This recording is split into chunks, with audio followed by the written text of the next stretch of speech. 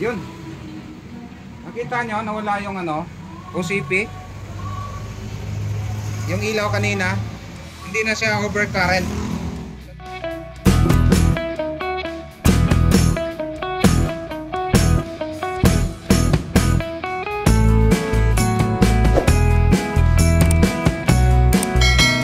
Welcome back mga ka-difficulties.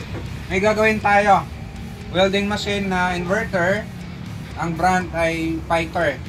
So, ang issue daw nito, may power pero walang output. So, tingnan natin. Testing kung uh, talagang wala bang power. Yun, may power na nga kagad. Tapos, ilaw, ang overcurrent. May power sa overcurrent. Hindi ko alam kung umiilaw ba talaga o wala. Hindi natin sure. So, tingnan natin kung may output ba.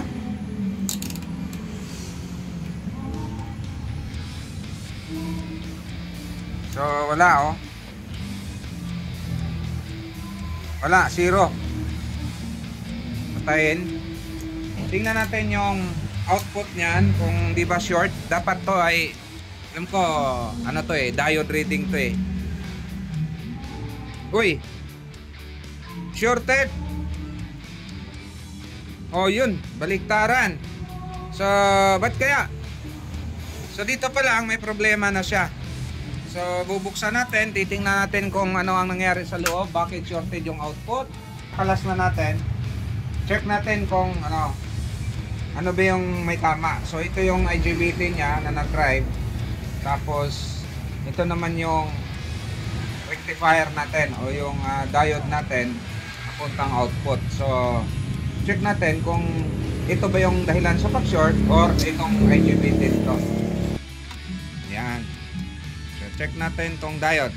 Diode tayo. Yun, shorted oh. Kabila. Ibig sabihin, ito ay may problema na may tama na to ito. Ito normal lang na may reading to nasa around 20 ohms. Yung uh, baliktarin pares lang ito. Dapat dapat walang short to eh.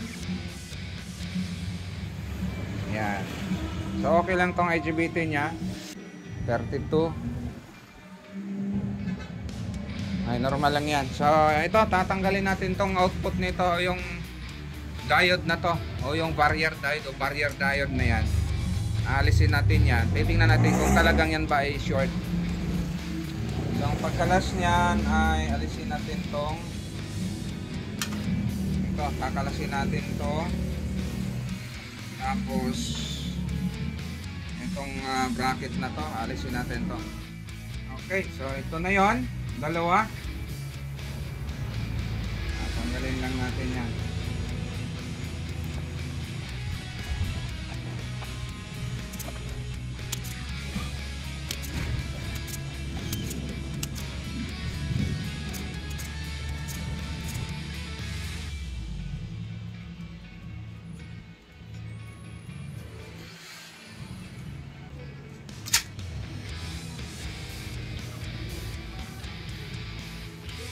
wala namang sunog na nakita. Sunog ba? Wala naman.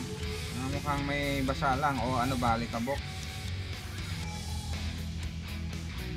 So sana ito lang ang tama niya.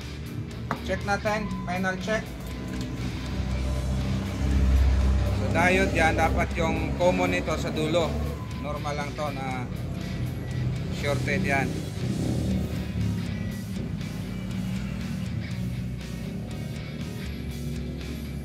Ito rin. Diode. Uy.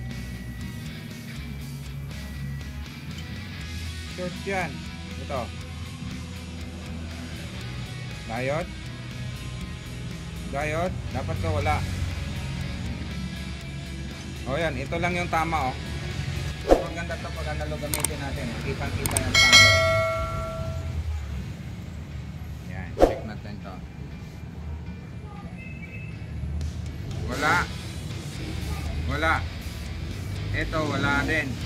Tingnan natin. Meron. Meron. So, ang common nila gitna. So, ito wala to. Ito sa kabila, meron na kabilaan. Oh.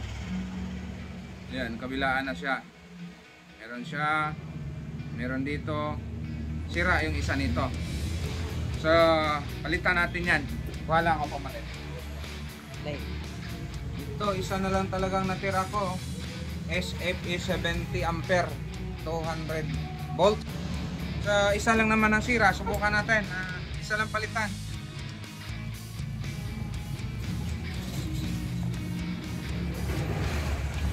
Oh, parehas oh. 70 200. Yan. Itong isa buo. Itim yan? Tapos itong isa sira. Sira, tatanggalin na natin yan.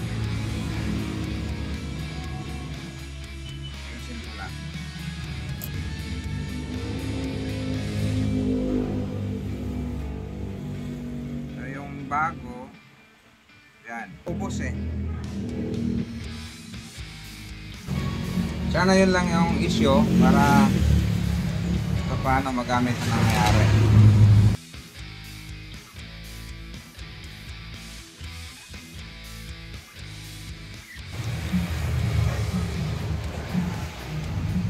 Dito na lang oh. Yan. Balik ta rin. Oh. Ayan. Diode reading.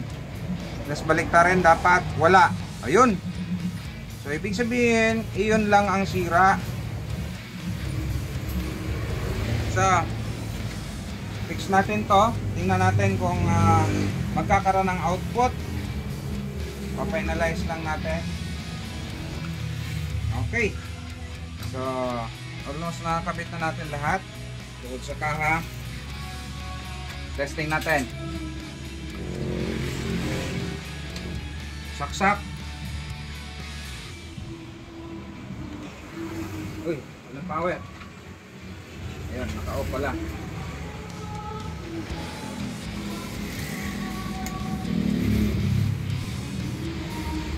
Yun. Nakita nyo, nawala yung ano, OCP.